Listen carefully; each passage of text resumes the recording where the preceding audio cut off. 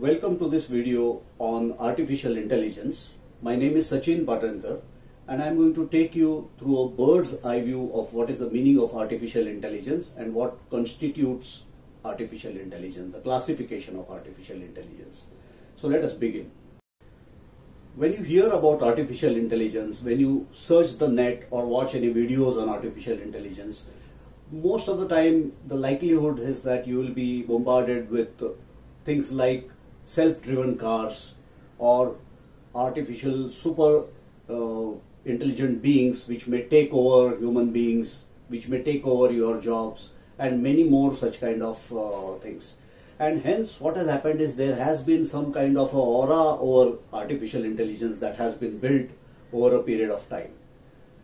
So I would like to bring it down to a little bit more reality in classifying where we are right now in the evolution stage of artificial intelligence. Are we there where we are having super intelligent machines or are we still lacking behind? And is the super intelligent machine, is it a reality or is it a myth? So let us explore that.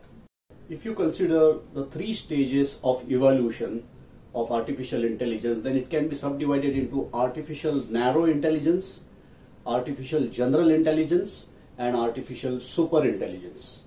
Artificial narrow intelligence is something that this uh, structure is designed to do specific tasks. Those specific tasks may be done quite intelligently, but those will be limited specific tasks. Whereas artificial general intelligence the system is expected to behave like a normal human being, which means it will have cognitive abilities, it will have reasoning abilities, it will have most or many of the abilities which a normal human being has in total. Artificial super intelligence will be that intelligence where it has superseded a human being in the sense that it will be able to replicate itself, it will be able to train itself to do higher order tasks that even a human cannot do. So where are we in this progress? We are at the moment limited to good progress on artificial narrow intelligence and a little bit of progress on artificial general intelligence. But artificial super intelligence is still largely at a very conceptual stage. So there is really no need of worry about the robots taking over the humans just as they show in some sci-fi movies. So that stage has not reached and it's a doubt whether it actually reaches there or not. So let's come to the basics. What is the meaning of intelligence in general? So it's an ability of a living being to be able to understand its environment and to be able to choose actions, to be able to choose actions that would maximize its chances to attain its goal. So what is artificial intelligence? You substitute the human being with the agent. So it is the ability of an agent to understand its environment and to choose actions such that it maximizes uh, those actions to attain its goal. That is artificial intelligence. We know that a human being has got five senses complemented by a brain and brain has got uh, unlimited capabilities of its own and it will have a uh, lot of abilities which a human normally keeps on exhibiting. If any of these abilities are replicated by this system, then we call it as artificial intelligence. So if you look at this uh, uh, diagram over here, uh, what it is depicting is that agent which is surrounded by an environment will be able to, just as we are sensing through this five sensory uh, inputs that we get as, uh, as a human, it will also have abilities to derive sensory inputs or any other kind of inputs in the form of data or something from the environment. It has got an ability or algorithm of its own which will allow it to choose a proper action based on the inputs that it has got and uh, execute its action to attain its goal. Now why it is intelligence? Because when the input changes, the action accordingly changes which is why it is an intelligent system as against a system where we create a robot which will repeatedly keep on performing the same set of actions irrespective of whatever changes happen anywhere in this world. So that is not artificial intelligence in that sense. Artificial intelligence, the same robot, if it is taking some input, at least one input from its environment and accordingly altering at least a bit of its action, then we will classify it under artificial intelligence. So typically you will find if you consider artificial intelligence as a black box, then there will be inputs which are uh, in the form of maybe images, sound or voice or speech or language or maybe video, data, motion or maybe environmental changes. These may be the inputs that it will receive. It will use variety of techniques like maybe NLP, expert system, image recognition, so on and so forth. It will use a lot of uh, existing practices and convert that input into some action such that it gives an output. Now when it gives an output, it is a predetermined output which is of some use to us and it is designed to give that kind of an output. And the output can again be in the form of either the same images, uh, some analysis done on top of that, it may be a sound file, it may be a classification, video, data, reports, this type of things uh, would come up as outputs. So uh, in that sense, a few applications that it is going to support maybe something like product analysis because of these kind of outputs. It can be A-B testing, it can be language translation, uh, sentiment analysis, or many other things. It can be a lot of things including self-driven vehicles. If we were to classify artificial intelligence into two broad types, then one of it will be rule-based AI, or we can also call it classical AI or symbolic AI, and sometimes people also call it good old-fashioned AI. That is one.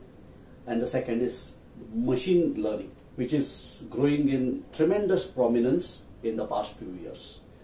So rule-based AI means it will be uh, like a program which is designed to take maybe a few inputs from the environment and accordingly take an action.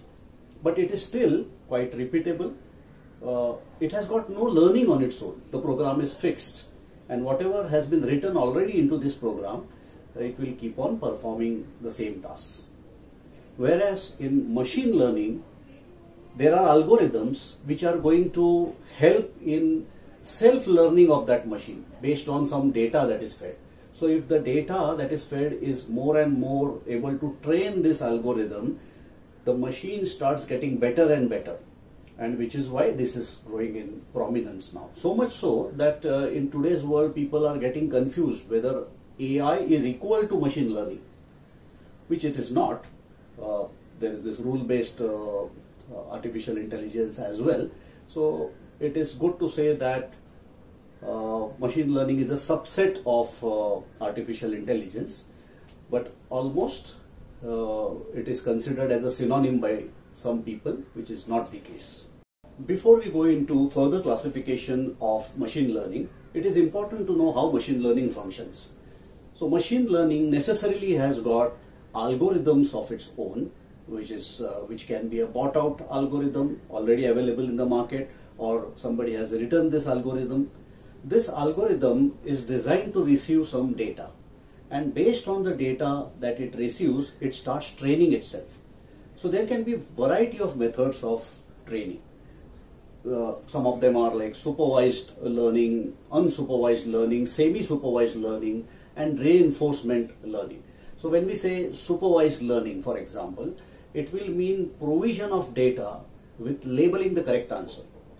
Which means if I want eventually to uh, this AI to tell me which are the palm trees amongst the thousands of uh, digital photographs that I'm going to throw at it, I may have to train this entire engine with maybe lots of palm tree data initially and then it will work wonders.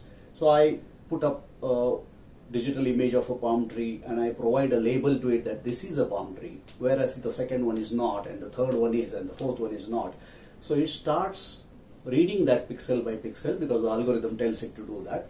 And once it starts deciphering its own logic of deriving a palm tree, though it does not understand what is a palm tree, it is designed to uh, make its own logic by the binary digit 0 and 1 and then it understands and gives that kind of an output. And once it develops an accuracy, you throw thousands of pictures and it will be damn accurate. So there can be various types of making this model learn depending upon the need. We are not going into the details of this because this is a overview uh, video that uh, we are making. Maybe someday we'll go deeper.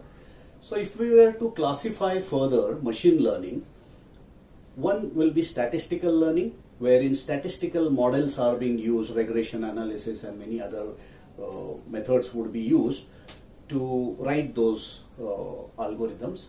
And another is deep learning, which is gaining in much more prominence now. Deep learning, we will spend a few minutes on that. Deep learning is truly inspired by our brain. Our brain consists of neurons and synapses, which are dendrites, which will carry signals to the other neurons. And these neurons are very well connected, uh, providing bits of information from one neuron to the other, incrementally increasing the capability of the overall brain to think and decide upon an action. So it is the same concept over here. Instead of a, a real neuron, this is just an algorithm which is simulating a neuron, uh, like artificial neuron, you can say. And this neuron, second neuron, third neuron, fourth neuron, so there will be layers of neurons that will be made. There will be one input layer, there will be one output layer. Input layer is the first layer which receives the uh, signals or the inputs uh, from the environment and the output layer is finally the one which is going to give you a final result or the application that you want to design and between these uh, two layers there will be hidden layers so if there are more than one hidden layer then we call it a deep neural network it's deep learning so it's a form of uh, deep learning in that sense so we can say that it is a it is something like a brain of the artificial intelligence engine.